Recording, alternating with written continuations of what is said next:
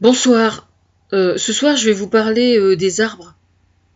Je viens de lire qu'il y a deux arbres euh, qui ont été coupés par un, comité anti-arbre de la liberté, quoi.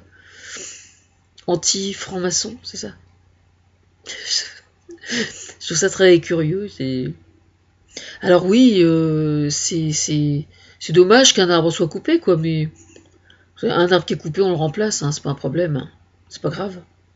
Franchement. Alors pourquoi la laïcité?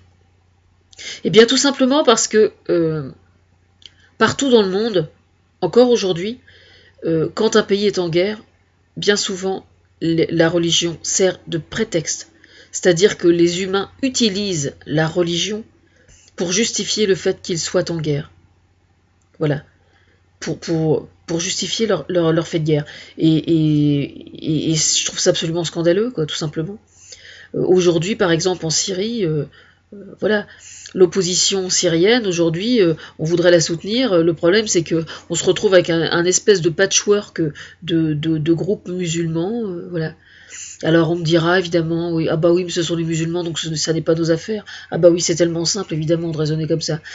Mais, mais c'est pareil, euh, on n'est pas beaucoup plus reluisant, nous, dans notre histoire, par rapport au le, christianisme par rapport à l'État, hein, je vous signale, hein.